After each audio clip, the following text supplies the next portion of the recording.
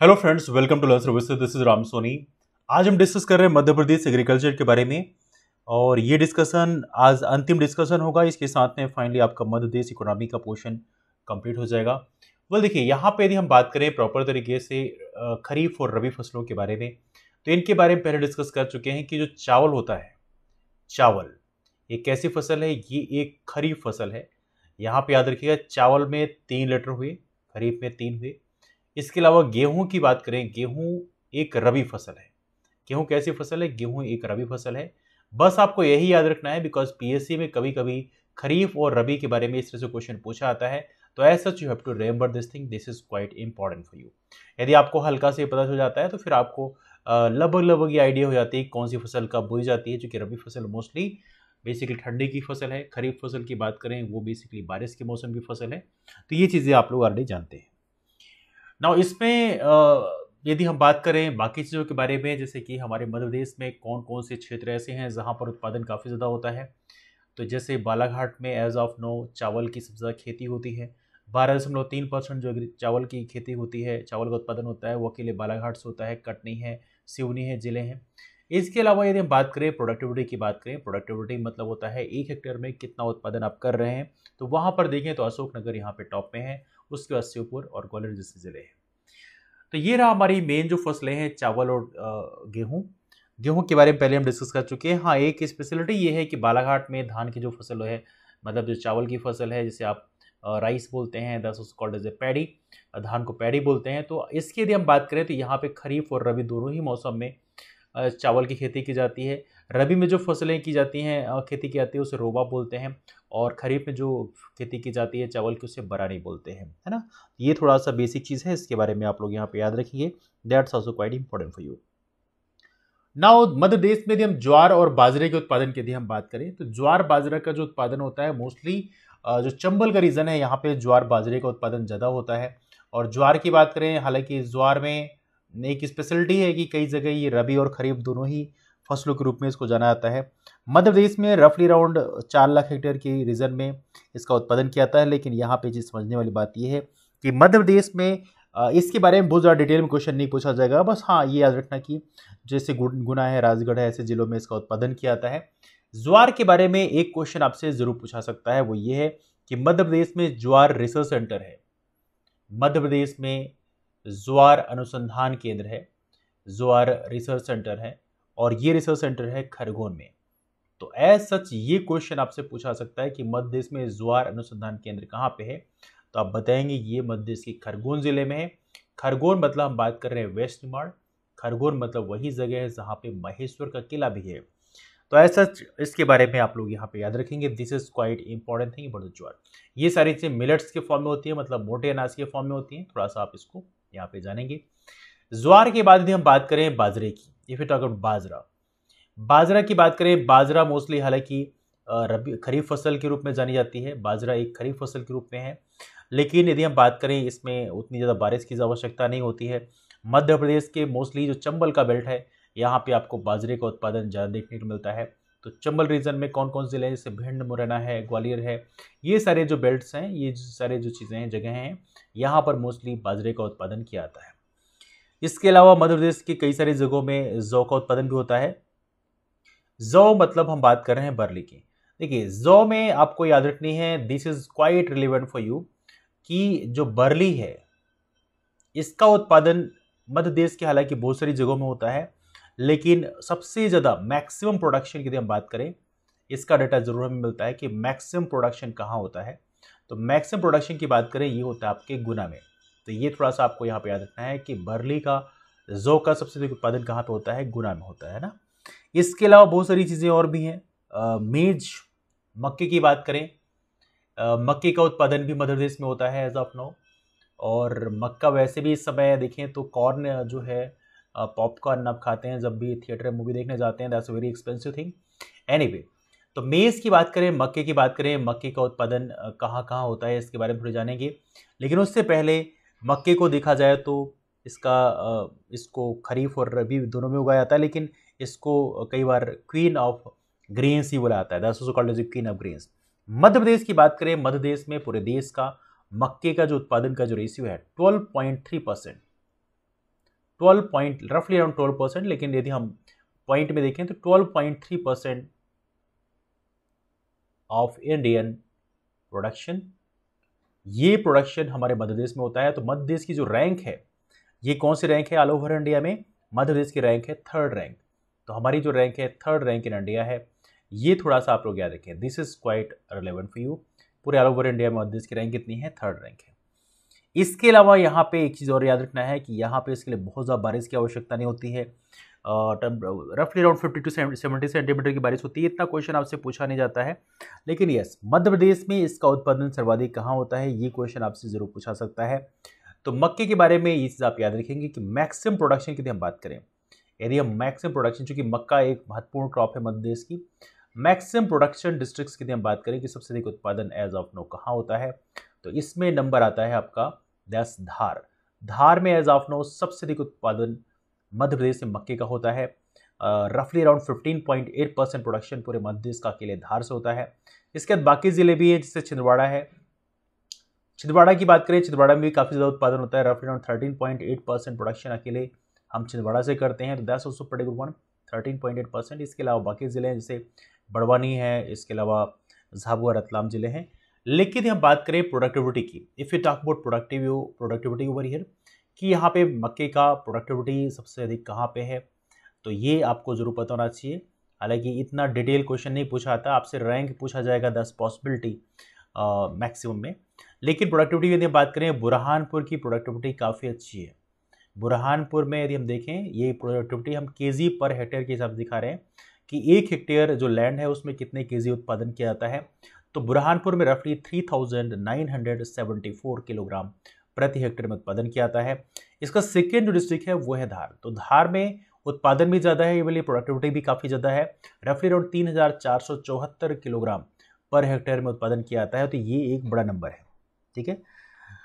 मध्य प्रदेश की बात करें तो मध्य प्रदेश में as of now Dhar sorry Dhar में एक बड़ा उत्पादन तो है ही है और मध्य प्रदेश में रफली अराउंड थर्टीन लाख हेक्टेयर के आसपास एरिया में हम लोग मक्के का उत्पादन करते हैं।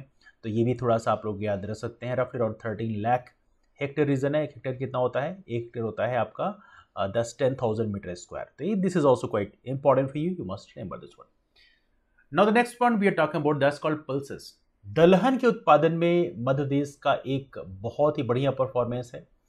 मध्य देश में दलहन का उत्पादन काफ़ी ज़्यादा होता है और वैसे भी नाइट्रोजन फिक्सन की प्रॉपर्टी होती है दलहन में। इसीलिए कहते हैं जो क्रॉप रोटेशन किया जाता है, वहाँ पे यदि दलहन का उत्पादन किया जाए पल्सेस का आप बेसिकली पल्सेस यदि आप लगाते हैं तो उससे आपके जो खेत की जो उर्वरा क्षमता होती है वो काफ़ी अच्छी आती है। दैट्स ऑल्सो क्वाइट इंपॉर्टेंट तो इसमें राइजोबियम क्या पाया जाता है? इसमें राइजोबियम पाया जाता है।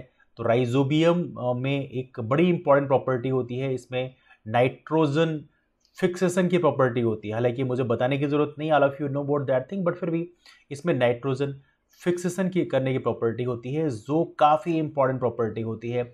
इसके चलते आपका जो वहाँ की बेसिकली ज़मीन होती है, उसकी उर्वरा क्षमता काफ़ी ज़्यादा अच्छी हो जाती है। नाउ नाइट्रोजन स्थिरीकरण वैसे बोलते हैं ना? नाउ यदि हम बात करें मध्य देश में एज ऑफ़ नाउ दलहन के उत्पादन में लगभग कितनी एरिया में उत्पादन हम करते हैं? यदि हम इसकी बात करें, देखिए Madhya Pradesh is having the top rank Madhya Pradesh यहाँ पर टॉपर है। यहाँ पे दलहन का उत्पादन पूरे देश में सबसे अधिक होता है, इसलिए मध्य देश के बारे में स्पेशल कॉन्टेक्स्ट में पढ़ना होगा। और यदि हम बात करें सन 2017-18 के डेटा के हिसाब से हम देखें, जो थोड़ा सा ये एक अप्रॉक्सीमेट डेटा देते हैं। आपको बहुत सोचने की आवश्यकता नहीं कितना पुराना क्यों है। अप्रॉक्सीमेट डेटा है रफली seven thousand four hundred seventy इतने थाउज़ेंड हेक्टेयर, इतने थाउज़ेंड हेक्टेयर, इतने हज़ार हेक्टेयर एरिया में हम लोग दलहन का उत्पादन करते हैं, जो कि आपके इकोनॉमिक सर्वे में थाउज़ेंड हेक्टेयर के फॉर्म में दिया जाता है। वैसे इसको आप सेवेंटी फोर लाख हेक्टेयर बोल सकते हैं। तो चौहत्तर लाख हेक्टेयर रीजन में आप यहाँ पर दलहन का उत्पादन करते हैं। दलहन के उत्पादन की बात करें, दो हज़ार सत्रह अठारह में कितना प्रोडक्ट प्रोडक्शन हुआ है? इसकी बात करें तो रफली nine thousand four hundred sixty इतने थाउज़ेंड इतने थाउज़ेंड मीट्रिक टन इतने थाउज़ेंड मीट्रिक टन आपका यहाँ पर प्रोडक्शन हुआ है। तो ये एक बड़ी बात है। लगभग चौरानवे लाख मेट्रिक टन का उत्पादन हमारे मध्य प्रदेश में दलहन का हुआ है पल्सेस का हुआ है that's one of the very important one इससे मध्य देश की रैंकिंग एज ऑफ़ नो पूरे देश में सबसे टॉप रैंक पे है। Now if you look over some other things like दलहन के उत्पादन में मध्य प्रदेश का तो रैंक टॉप में है, लेकिन बाकी जो राज्य हैं, उनकी रैंक क्या है? तो रैंक में फ़र्स्ट पे मध्य प्रदेश है। मध्य प्रदेश का प्रोडक्शन है रफली 27.23 परसेंट राइट तो पूरे देश का एक चौथाई से ज़्यादा प्रोडक्शन अकेले हम करते हैं। सेकेंड नंबर पे आता है महाराष्ट्र। महाराष्ट्र में भी दलहन का उत्पादन काफ़ी अच्छा है। महाराष्ट्र की बात करें एरिया वाइज महाराष्ट्र, मध्य प्रदेश के बाद जो है तीसरा बड़ा स्टेट है। राजस्थान टॉप में उसके बाद मध्य प्रदेश है, देन महाराष्ट्र इधर तो यहाँ पे रफली 16.58 परसेंट प्रोडक्शन होता है दलहन का तो इसलिए महाराष्ट्र में काफ़ी ज़्यादा होता है।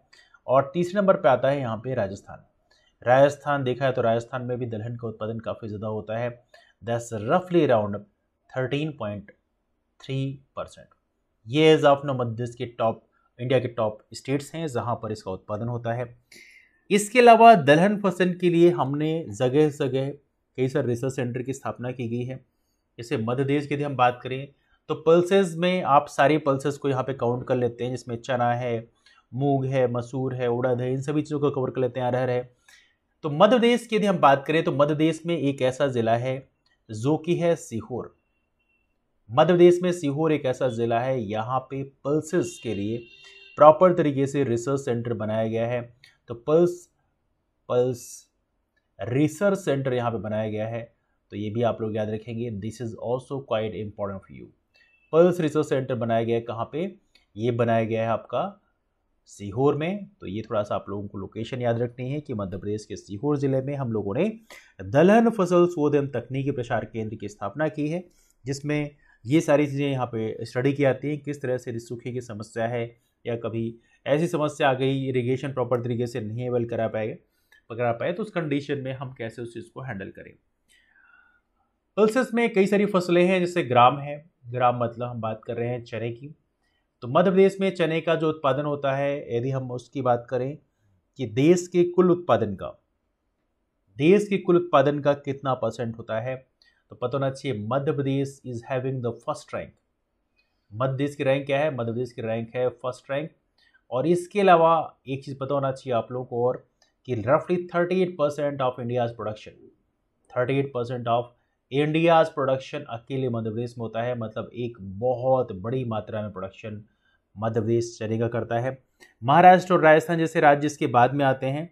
इसके अलावा मध्य प्रदेश के कौन से राज्यों में, कौन से ज़िलों में चने का प्रमुख उत्पादन यदि की बात करें, कौन सी जगहों में उत्पादन ज़्यादा होता है तो एज ऑफ़ नाउ देखा जाए तो मध्य प्रदेश में जैसे छिंदवाड़ा है, मध्य देश में ग्राम, चने के उत्पादन की यदि हम बात करें तो यदि हम बात करें यहाँ पे कौन सा जिला फ़र्स्ट रैंक पे है तो जिलों में छिंदवाड़ा फ़र्स्ट रैंक पे है। Chhindwara okay let me write down this is something like that let me make a something like chart और समथिंग है ना? ओके हियर इट इज़ तो यदि हम बात करें प्रोडक्शन की बात करें फिट अबाउट प्रोडक्शन हालाँकि सभी की बात नहीं करते, कुछ ही की बात करते हैं। तो प्रोडक्शन में हमारी जो रैंक है तो फ़र्स्ट रैंक पे कौन है? फ़र्स्ट रैंक पे है छिंदवाड़ा। छिंदवाड़ा में पूरे मध्य देश का रफली अराउंड 5.5 परसेंट प्रोडक्शन हमारे मध्य देश में किया जाता है। As of now second number पे यहाँ पे है राजगढ़। राजगढ़ वही ज़िला है जो ट्रॉपिक ऑफ़ कैंसर को टच करता है। और राजगढ़ की बात करें रफली 5.1 परसेंट प्रोडक्शन यहाँ पे होता है। तो ये मध्य देश के टॉप ज़िले हैं थर्ड नंबर पे आता है उज्जैन। टॉप थ्री का ही डिस्कस करते हैं, बाकी उसके बाद का डिस्कस करने की आवश्यकता नहीं है। रफली फोर पॉइंट नाइन परसेंट तो यहाँ परसेंटेज आपको नहीं याद रखना है। यहाँ पे आपको छिंदवाड़ा का नाम ज़रूर याद रखना है। आपसे पूछा सकता है कि चने के उत्पादन में मध्य प्रदेश का कौन जिला है जहाँ पे सबसे प्रोडक्शन होता है? तो आप याद रखें, ये है छिंदवाड़ा। ना if you talk about the productivity productivity का मतलब ये है कि कितने किलोग्राम प्रोडक्शन कितने किलोग्राम प्रोडक्शन आप एक हेक्टेयर एरिया में करते हैं, ये कहलाता है प्रोडक्टिविटी तो प्रोडक्टिविटी में देखें तो मध्य प्रदेश का जो टॉप डिस्ट्रिक्ट है, वहाँ पर भी छिंदवाड़ा का नाम आता है. छिंदवाड़ा में प्रोडक्टिविटी काफ़ी अच्छी है और यहाँ प्रोडक्टिविटी है दो हज़ार पाँच सौ नवासी kilogram per hectare second number पर यहाँ पर आता है भिंड भिंड, जैसे ज़िले जो हैं, यहाँ प्रोडक्टिविटी काफ़ी ज़्यादा है, यहाँ पे है 1372 यहाँ पर भी आपको बहुत ज़्यादा नहीं याद रखने की ज़रूरत है। प्रोडक्टिविटी में सिर्फ़ आपको रैंक याद रखनी है दैट्स ऑल और पहली रैंक ही आमतौर पर पूछा आता है, बाकियों के बारे में पूछा भी नहीं जाता है, बाकियों के बारे में आपको बहुत परेशान होने की आवश्यकता भी नहीं है। मध्य प्रदेश में और भी फ़सलें हैं, जैसे तुअर है जिसे अरहर बोलते हैं बेसिकली एज सच तो अरहर की बात करें तो इसके बारे में थोड़ा डिस्कस कर लेते हैं। बहुत ज़्यादा डिटेल में डिस्कस नहीं करेंगे, बस थोड़ा सा ही जान लेते हैं। तो अरहर के उत्पादन में अरहर जिसको आप तुअर बोलते हैं तुअर। राइट तुअर हालाँकि समझना है आपको, तुअर इसका कोई इंग्लिश नाम नहीं है, इसको पीजन पी बोलते हैं, है ना? एनी वे एनी वे अरहर तुअर दोनों वर्ड इस्तेमाल करते हैं, वैसे हम लोग हम लोग। तो यहाँ पे मध्य देश की रैंकिंग जो है, वो थर्ड रैंक पे है। तो मध्य देश की यदि हम रैंक की बात करें, मध्य देश की रैंक क्या है तो मध्य प्रदेश की रैंक है थर्ड रैंक ये थोड़ा सा आप लोग यहाँ पे याद रख सकते हैं। इसके अलावा यहाँ पे मध्य प्रदेश में इसके लिए अनुसंधान केंद्र बनाया गया है।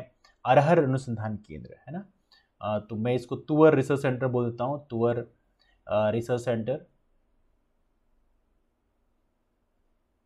अरहर अनुसंधान केंद्र, अरहर रिसर्च सेंटर एनीवे तो इसमें तुअर रिसर्च सेंटर कहाँ पे है? ये है आपके शेरपुर में। कहाँ पे है? शेरपुर में। शेरपुर कहाँ पे है? शेरपुर है आपके सीहोर ज़िले में। कहाँ है? सीहोर ज़िले में। सीहोर में है तुअर रिसर्च सेंटर इतना बस केवल आप याद रखिएगा बिकॉज़ पॉसिबिलिटी है कि कभी कभी यहाँ पे इस तरह से छोटे छोटे क्वेश्चन पूछ ले आते हैं। मध्य प्रदेश में यदि हम बात करें प्रोडक्शन कहाँ पे ज़्यादा होता है तो मैक्सिमम प्रोडक्शन की बात करें। मैक्सिमम प्रोडक्शन जो डिस्ट्रिक्ट है, वो है आपका, यह है छिंदवाड़ा। छिंदवाड़ा में मैक्सिमम प्रोडक्शन भी होता है, छिंदवाड़ा में मैक्सिमम प्रोडक्टिविटी भी होती है, दोनों चीज़ें आपको है। इसका परसेंटेज देख लीजिए थर्टीन परसेंट प्रोडक्शन यहाँ पे होता है। बस इतना याद रखिए, बहुत ज़्यादा डिटेल में याद रखने की आवश्यकता नहीं है। मध्य देश में दाल में एक और दाल है उड़द। आपने उड़द का नाम सुना होगा। उड़द हालाँकि इतना डिटेल याद रखने की ज़रूरत नहीं है। इसको हम ब्लैक लेंटिल बोलते हैं। तो इसकी यदि हम बात करें तो यहाँ पे मध्य प्रदेश के बहुत सारे ज़िले हैं जहाँ पर उत्पादन होता है। लेकिन यदि हम बात करें टीकमगढ़ की बात करें, टीकमगढ़ यहाँ पे फ़र्स्ट रैंक पे है। टीकमगढ़ में उत्पादन उत्पादकता, ये सारी फ़र्स्ट रैंक पे है तो यहाँ पे देखें टीकमगढ़ में फ़र्स्ट रैंक बहुत ज़्यादा डिटेल में डिस्कस नहीं कर रहे हैं बिकॉज़ इतना डिटेल में आपसे एग्ज़ाम पूछा नहीं जाएगा। इतना ही पूछ लिया जाए तो बड़ी बात है। अरहर सॉरी दलहन के बारे में डिस्कस करने के बाद हम लोग डिस्कस करते हैं ऑयल सीड के बारे में। ऑयल सीड मतलब हम बात कर रहे हैं तिलहन के बारे में। तिलहन का मतलब है जिससे हम ऑयल निकालते हैं, तेल निकालते हैं बेसिकली तो मध्य प्रदेश में तिलहन बहुत सारी चीज़ें हैं, मूंगफली है, सरसों है, सोयाबीन है, सूरजमुखी है, ये सारी चीज़ों को आप इस्तेमाल करते हैं। As of now Madhya Pradesh तिलहन के उत्पादन में या सोयाबीन भी इसमें आ जाता है। तो तिलहन के उत्पादन में मध्य प्रदेश की फ़र्स्ट रैंक है। ऑयल सीड की यदि हम बात करें उसको हम हिंदी बोलते हैं तिलहन। तो तिलहन के उत्पादन की यदि हम बात करें तो मध्य प्रदेश यहाँ पे, मध्य प्रदेश की रैंकिंग क्या है? मध्य प्रदेश फ़र्स्ट रैंक पे है। ये थोड़ा सा आप लोग यहाँ पे याद रखेंगे। This is quite important for you first rank first rank यदि हम बात करें तो फ़र्स्ट रैंक में कौन सा है? फ़र्स्ट रैंक में है अपना मध्य प्रदेश कितना परसेंट प्रोडक्शन करता है? रफली twenty seven percent of India production is done by the Madhya Pradesh second rank यदि हम बात करें कि सेकेंड रैंक पे तिलहन का उत्पादन सबसे अधिक कहाँ पे है? तो ये है आपका राजस्थान में। राजस्थान में रफली अराउंड ट्वेंटी परसेंट के आसपास है। यदि हम पॉइंट की बात करें तो रफली nineteen point seven percent production Rajasthan करता है। और तीसरे नंबर पे यहाँ पे है महाराष्ट्र। थर्ड रैंक पे है महाराष्ट्र। वैसे भी आपको पता होना चाहिए बिकॉज़ रियल एग्रीकल्चर में क्वेश्चन पूछा सकते हैं। तो महाराष्ट्र में एज ऑफ़ नो ये यहाँ पे तिलहन के उत्पादन में ये तीसरे नंबर पे है और महाराष्ट्र में एज ऑफ़ नो रफली 16.4 परसेंट प्रोडक्शन महाराष्ट्र करता है। तो ये रहा ऑयल सीड प्रोडक्शन के बारे में। इसके बारे में आपको जानकारी होनी चाहिए। बिकॉज़ ऑयल सीड में हम कम्प्लीटली हालाँकि सेल्फ डिपेंडेंट नहीं है। बहुत सारी चीज़ों के लिए हमें स्पेशली जो आसियान कंट्रीज़ होती हैं हुसन of South East Asian nations जिसमें आपकी कम्बोडिया है, लाओस है या वियतनाम ऐसी कंट्रीज़ से हमें ऑयल इम्पोर्ट करना पड़ता है। स्पेशली जो एडिबल ऑयल होता है, जो खाने वाला तेल होता है ना तो ये थोड़ा सा हमें याद रखना है। एज आप लोग देखें तो हमारे ऑयल सीड में कौन कौन सी चीज़ें आती हैं, जिसमें राई है, सरसों है, जिसके बारे में डिस्कस कर लेते हैं। तो राई जो है एक इंपॉर्टेंट है। इसके लिए कौन सी जो जगह है, जो काफ़ी इंपॉर्टेंट है तो let's talk about this one सबसे पहले हम बात कर लेते हैं राई के बारे में। राई हालाँकि इसको एक रवि क्राप बोला जाता है। अब इसमें देखा जाए तो मध्य प्रदेश का जो पठारी एरिया है इसको सरसों उत्पादन की हांडी भी कहा जाता है। तो ये भी काफ़ी इंटरेस्टिंग है। और मुरैना में कई सारे सरसों उत्पादन के कई सारे कारखाने भी स्थित हैं। एनीवे anyway, यदि हम बात करें राई के उत्पादन में कौन सा जिला हमारा फ़र्स्ट रैंक पे है तो भिंड की बात करें भिंड।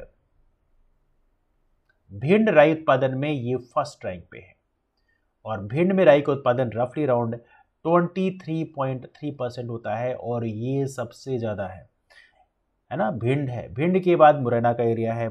ये रीज़न जो है मोस्टली भिंड मुरैना का जो रीज़न है, यहीं पर सबसे अधिक उत्पादन होता है। तो आप याद रखिए मोस्टली जो आपका चंबल बेल्ट है, यहाँ पर राई का उत्पादन एक बड़ी मात्रा में होता है। यहाँ पे रफली ट्वेंटी वन परसेंट आप सोचिए दोनों को यदि आप ऐड कर दें that's more than forty percent रफली अराउंड फोर्टी फाइव परसेंट पहुँच जाता है। तो ये आप देखेंगे यहाँ पर सरसों या राई का उत्पादन काफ़ी ज़्यादा होता है। इतना ही आपको याद रखने की ज़रूरत रहे। बहुत ज़्यादा ड्रिल में याद रखने की आवश्यकता है नहीं है। आ, हाँ मुरैना में ज़रूर सरसों के उत्पादन के बहुत सारे कारखाने ऐसे थे तो ये थोड़ा सा आप याद रखते हैं। बहुत ज़्यादा ड्रिल में याद रखने की आवश्यकता है नहीं। मध्य प्रदेश में सोयाबीन के बारे में ज़रूर थोड़ा सा आपको याद रखना पड़ेगा बिकॉज़ सोयाबीन मध्य प्रदेश को सोया राज्य बोला आता है, इसलिए सोयाबीन के बारे में थोड़ा सा डिस्कशन हम ज़रूर करेंगे। तो सोयाबीन की बात करें तो यहाँ पे इसमें एक बड़ी इंपॉर्टेंट है, इसे दलहन भी बोलते हैं। दलहन क्यों बोलते हैं? बिकॉज़ इसमें जो इसमें भी नाइट्रोजन फिक्सन की प्रॉपर्टी होती है। सोयाबीन की फ़सल में सोयाबीन की जो जड़ें होती हैं, इसलिए सोयाबीन जो है, इसलिए इसको दलहन के रूप में भी बोलते हैं और तिलहन तो है, ये बड़ा बी एस बात है एलसीड के रूप में इस्तेमाल करते हैं। तो ये बेसिकली दलहन और तिलहन दोनों में काउंट किया जाता है। इवनली एग्ज़ाम में पूछा भी गया कई बार कि सोयाबीन दलहन है या तिलहन है, या दोनों है? तो आप बताएँगे दलहन भी है और ये तिलहन भी है। तिलहन का मतलब इससे आप तेल भी निकालते हैं मतलब this pulse as well this oil seed तो ये दोनों को आपको यहाँ पे याद रखना है, मध्य प्रदेश को इसके उत्पादन के लिए सोया स्टेडी बोलते हैं और ये दर्जा मध्य प्रदेश को इसलिए मिला है कि मध्य प्रदेश में सोयाबीन का एक बड़ा उत्पादन किया जाता है। सोयाबीन एक प्रकार से कैश क्रॉप भी बनी जाती है दस कॉल्ड कॉमर्शियल क्रॉप तो ये भी थोड़ा सा यहाँ पे आपके लिए इंपॉर्टेंट है है ना? सोयाबीन का एग्रीकल्चर की यदि हम बात करें तो मध्य प्रदेश में ऑब्वियस बात है, मालवा रीजन में बड़ी मात्रा में सोयाबीन का उत्पादन किया जाता है और सोयाबीन का उत्पादन पहली बार देवास डिस्ट्रिक्ट से स्टार्ट हुआ था, याद रखिएगा। Agriculture started. Soybean agriculture started from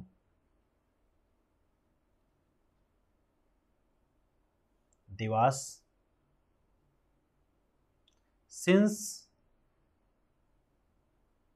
1962 जो किताबों में डेटा मिलता है, उसके हिसाब से उन्नीस सौ बासठ में यहाँ पे सोयाबीन का उत्पादन शुरू हुआ है। और एज आप नो सोयाबीन ने एक बड़ा कंट्रीब्यूशन किया है सोयाबीन एक खरीफ फ़सल के रूप में उगाई जाती है ये आप याद रखेंगे, ये खरीफ क्रॉप फ़सल है, दस, खरीफ क्रॉप। और खरीफ फ़सल का मतलब ये है, खरीफ खरीफ फ़सल का मतलब ये है कि जून में इसको आप बुआई करेंगे, अक्टूबर में इसकी कटाई करेंगे, सिंपल सी बात है ना? ये एक प्रकार से आप कह सकते हैं कि खरीफ फ़सलें जो हैं, एक प्रकार से रेनी सीज़न बेसिकली होता है। ना यहाँ पे एक चीज़ याद रखना है कि मध्य प्रदेश के बारे में, मध्य प्रदेश जो है कितना उत्पादन करता है? तो मध्य प्रदेश का रैंक तो आपको पता होना चाहिए परसेंटेज भी थोड़ी पता होना चाहिए क्योंकि ये क्वेश्चन एग्ज़ाम में पूछा जा सकता है।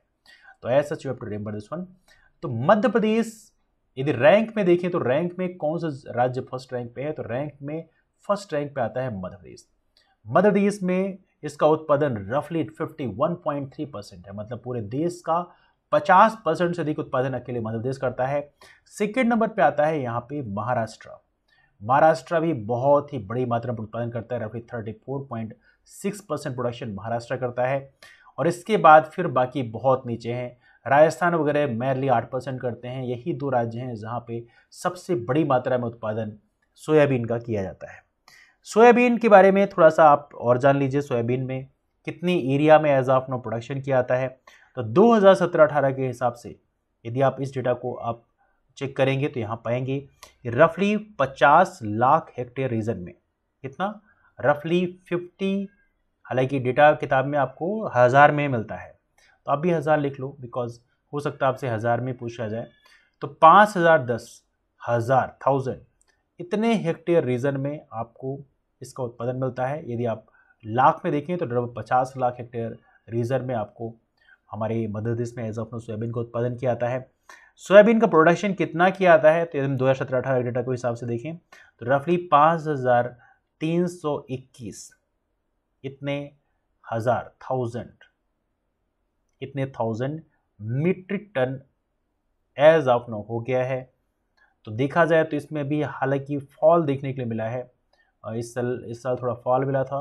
बाकी राज्यों में, बाकी जो टाइम थे उसमें आमतौर पे ज़्यादा प्रोडक्शन होता था बट फिर भी ये है रफली एक डेटा आपके पास, पाँच से छः हज़ार हज़ार, पाँच से छः हज़ार हज़ार हेक्टेयर में, या पचास से साठ लाख हेक्टेयर रीजन में उत्पादन करते हैं आप, और पचास से साठ लाख मेट्रिक टन आपका उत्पादन किया जाता है। तो ऐसा चीज़ आप याद रखेंगे सोयाबीन के बारे में एक बहुत ही महत्वपूर्ण फैक्ट है, जो अक्सर एग्ज़ाम में पूछा आता है।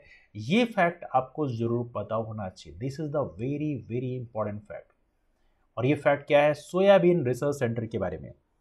तो सोयाबीन रिसर्च सेंटर जो है, ये कहाँ पर है? सोयाबीन रिसर्च सेंटर की बात करें तो सोयाबीन रिसर्च सेंटर है आपका इंदौर में। ये बहुत इंपॉर्टेंट है और ये soybean research centre national level का सोयाबीन रिसर्च सेंटर है। ये क्वेश्चन एग्ज़ाम में कई बार पूछा गया है। इसको आप याद रखिए, कहाँ पे? इंदौर में है। या आप इंदौर पर रहते हैं तो भौर कुआँ से जब आप अंदर जाएँगे आईटी कॉलेज है डी का इंजीनियरिंग कॉलेज। उसके ठीक सामने ही आपको ये मिलेगा है ना? तो ऐसा आप इसको याद रखेंगे। इसके अलावा सोयाबीन के बाद आ, हमारा स्टेट सोयाबीन रिसर्च सेंटर ये तो नेशनल है। That's national national. एक हमारा स्टेट सोयाबीन रिसर्च सेंटर भी है। इसको भी आप थोड़ी सी याद रखेंगे। This also important so so, राज्य का सोयाबीन रिसर्च सेंटर कहाँ पे उज्जैन में है। नेशनल सोयाबीन रिसर्च सेंटर है आपके इंदौर में। ये दोनों ही कुछ कुछ पूछाते हैं। हालाँकि सोयाबीन जो संयंत्र स्थापित किया गया है वो भी उज्जैन में स्थापित किया गया है। तो ये चीज़ें थोड़ा सा आपके लिए इंपॉर्टेंट है। These are little bit important for you तो ये है मध्य प्रदेश की मेन मेन क्रॉप्स बाकियों के बारे में बहुत ज़्यादा डिटेल में डिस्कस करने की आवश्यकता नहीं है बिकॉज़ बाकियों के बारे में इतना डिटेल पूछा नहीं जाएगा। हाँ यहाँ पर कुछ क्षेत्र ऐसे हैं जहाँ पर विशेष फ़सलें उगाई जाती हैं। ऐसे यदि हम बात करें आपका जो रीज़न है, स्पेशली मालवा का रीज़न है तो मालवा में कॉटन का उत्पादन काफ़ी किया जाता है। तो कैश क्रॉप में, कॉमर्शियल क्रॉप्स में हम लोग कॉटन के बारे में थोड़ा डिस्कस कर लेते हैं, बिकॉज़ कॉटन के बारे में एग्ज़ाम में क्वेश्चन पूछा सकते हैं। Just talk about this one bit Madhya Pradesh में देखें, कपास का उत्पादन मोस्टली जो है आपके खंड बेसिकली रीजन जो है, आपका मालवा रीजन है। और मालवा रीजन में ही आपका इसका उत्पादन किया जाता है। इवनली मालवा रीजन में जो मिट्टी पाई जाती है, वो काली मिट्टी पाई जाती है। और पता होना चाहिए इसी के चलते मालवा के रीजन को आप जो काली मिट्टी है, उसको कपासी मिट्टी भी बोलते हैं। तो दोनों चीज़ें इस्तेमाल की जाती हैं सच हालाँकि निमाड़ के रीजन में भी कपास का उत्पादन किया जाता है। एज ऑफ़ नो यदि हम बात करें, यहाँ पे मध्य देश में तीन ज़िले ऐसे हैं निमाड़ क्षेत्र के। इसे सुनहरे ज़िले भी बोला जाता है तो ये थोड़ा सा आप लोग याद रखें। आपसे पूछा जा सकता है कि गोल्डन डिस्ट्रिक्ट मध्य प्रदेश से कौन से हैं? तो ये थोड़ा सा आप याद रखें दस गोल्डन डिस्ट्रिक्ट कौन कौन से ये चार ज़िले हैं निमाड़ रीजन की जिसमें बड़वानी है? बड़वानी से लगा हुआ बुरहानपुर है। लगा हुआ नहीं है, थोड़ा दूर है। खंडवा, खरगोन, खंडवा के बाद में। इसके बाद में आपका है एक ज़िला जिसका नाम है खंडवा और खरगोन। ये चार ज़िलों की बात करें these are called as a golden district Khandwa and Khargone. इनको सुनहरा ज़िला बुलाता है। बड़वानी, बुरहानपुर, खंडवा खरगोन को निमाड़ क्षेत्र का जो रीज़न है, और इसके चलते इन्हें सुनहरे ज़िले बुलाता है तो थोड़ा सा आप लोग याद रखेंगे। बाकी कपास का उत्पादन, बाकी धार झाबो रीजन में भी होता है, देवास रीजन में होता है ना? एज सच यदि हम बात करें मध्य देश में, इसके रिसर्च सेंटर जो है कहाँ कहाँ पे हैं बिकॉज़ यहाँ पे क्वेश्चन पूछा सकता है। तो हमारे मध्य देश में एज ऑफ़ नो जो पहला ऑर्गेनिक। सन 2018 में मध्य प्रदेश में डेवलपमेंट किया गया और यहाँ पे जो पहला ऑर्गेनिक कॉटन रिसर्च सेंटर की स्थापना की गई। That's called organic cotton research centre. Organic cotton research centre मतलब जैविक कपास अनुसंधान केंद्र। जैविक कपास अनुसंधान केंद्र, ऑर्गेनिक कॉटन रिसर्च सेंटर। ये पहला ऑर्गेनिक कॉटन रिसर्च सेंटर कहाँ पे हमने स्थापित किया? इसकी स्थापना की गई खंडवा में। और इसका नाम है, याद रखना, इसका नाम है भगवंत राव मंडलोई। कहाँ पे स्थापना की गई? ऑर्गेनिक कॉटन रिसर्च सेंटर की। इसकी स्थापना की गई Bhagwant Rao Mandloi. Bhagwant Rao Mandloi. Agriculture university AG university Khandwa ये आप याद रखेंगे भगवंत राव मंडलोई एजी यूनिवर्सिटी खंडवा में आपने क्या स्थापित किया है? यहाँ पे स्थापित किया है पहला organic cotton research centre Madhya Pradesh का। ठीक है? तो ये थोड़ा सा आप लोग यहाँ पे याद रखेंगे। हालाँकि एक ऑर्गेनिक कॉटन में एक और चीज़ है, इसका एडवांस वेराइटी जो है बीटी कॉटन बनाया गया था, आपको याद होगा। बीटी कॉटन में यहाँ पे प्रोडक्टिविटी भी काफ़ी ज़्यादा होती है और इवनली कॉटन में जो कीड़े लगते हैं वो भी नहीं होते हैं। तो बीटी कॉटन एक जलवायु परिवर्तन का बहुत ज़्यादा असर होता नहीं है इसमें। तो ये बीटी कॉटन याद रखिएगा सन 2002-3 में, सन 2002 और 3 का टाइम था, जिस समय गवर्नमेंट ऑफ़ इंडिया ने इसको एक कॉमर्शियल क्रॉप के रूप में अलाउ कर दिया था। तो गवर्नमेंट ऑफ़ इंडिया ने इसकी परमिशन जो दी थी कि कॉटन का जो मॉडिफाइड वेराइटी है, उसको आप इस्तेमाल कर सकते हैं तो that's BT cotton right now we using it ये थोड़ा सा आप लोग याद रख सकते हैं। ठीक है this is something like that बाकी जो फ़सलें हैं, उसमें कुछ फ़सलें और भी हमारे मध्य प्रदेश में पढ़ेंगे। ये फ़सलें बहुत ज़्यादा डिटेल में बाकी फ़सलों के बारे में डिस्कस नहीं करेंगे। जैसे जूट का उत्पादन मध्य प्रदेश में कुछ जगहों क्या आता है, जैसे मंडला है, डिनोरी रीजन है। लेकिन मध्य प्रदेश में जिस फ़सल के बारे में डिस्कस करेंगे दैट्स कॉल्ड गाजा ये क्वेश्चन यहाँ से पूछा आता है, मैरुआना। गाजा मतलब बात कर रहे हैं, मैरुआना की। मै marijuana marijuana, okay. Marijuana okay. Marijuana, इससे क्वेश्चन पूछा गया है, इसको थोड़ा सा आप लोग याद रखिएगा because this quite relevant for you इसमें फ़र्स्ट रैंक पे कौन सा है सेकेंड नंबर पे कौन है? तो इसकी प्रोडक्शन में यदि हम बात करें if you talk about production right no way here तो सबसे प्रोडक्शन कहाँ पे होता है? तो एज ऑफ़ नो खंडवा यहाँ पे फ़र्स्ट रैंक पे है। खंडवा मैरवाना के प्रोडक्शन में फ़र्स्ट रैंक पे है। सेकेंड नंबर पे आपका आता है बुरहानपुर। ये प्रदेश के ज़िले हैं जहाँ पे मैरवाना का प्रोडक्शन एज ऑफ़ नो सबसे अधिक होता है, इसको आप याद रखिए ठीक है?